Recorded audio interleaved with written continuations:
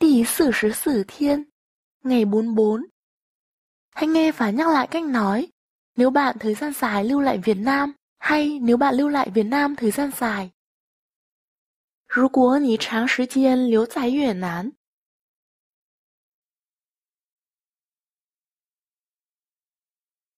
如果你长 时间留在越南，如果你长时间留在越南。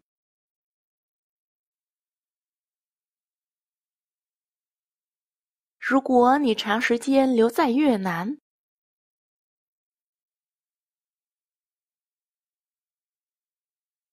Bây giờ hãy nhắc lại các từ ngữ sau bằng tiếng Trung. Tiếng Trung của bạn thật tốt. 你的中文真好。Từng nghe nói qua Quế Lâm. 听说过桂林。Vậy à?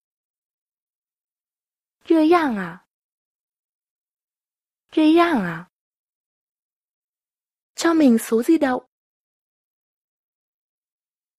给我手机号码。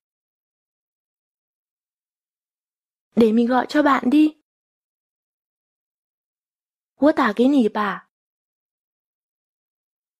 Nhận được rồi, với ý nhận được điện thoại. 接到了。Nên mình còn chưa cài đặt. 所以我还没有安装。Người Việt Nam đại bộ phận đều, người Việt Nam phần lớn đều. 越南人大部分都 Xem ra mình cũng phải đăng ký một tài khoản.